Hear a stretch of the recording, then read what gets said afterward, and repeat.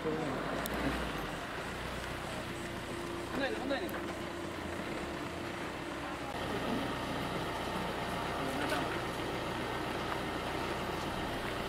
ದಿನ ನಮ್ಮ ದೇಶದ ಮಹಾ ಚುನಾವಣೆ. ತಮಗೆಲ್ಲರಿಗೂ ಗೊತ್ತಿರುವ ಹಾಗೆ ನಾನೊಬ್ಬ ಎನ್ ಆರ್ ಐ, ಆದರೂ ಕೂಡ ದೂರ ದುಬೈಯಿಂದ ಪ್ರತಿ ಇಲೆಕ್ಷನ್ಗೂ ಕೂಡ ಚುನಾವಣೆಗೆ ಬಂದು ಕೂಡ ಮತದಾನ, ಸಂಸಾರ ಸಮೇತವಾಗಿ ಬಂದು ಮತದಾನ ಮಾಡ್ತಾ ಇದ್ದೇನೆ.